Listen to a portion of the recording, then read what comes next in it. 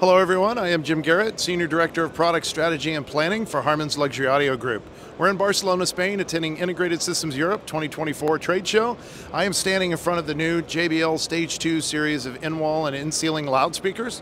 We have eight models in the range. They bring some very proprietary JBL technology, including our high-definition imaging waveguides, our metal dome tweeters, our JBL woofer technology, onto a very affordable product range on it. We've got six and eight inch in-wall and in-ceilings, we've got a double five inch LCR, we've got a dual tweeter in-ceiling speaker, and then we have two angled in-ceiling speakers that make great in-ceiling LCRs, surround channels, or height channels and an immersive audio system.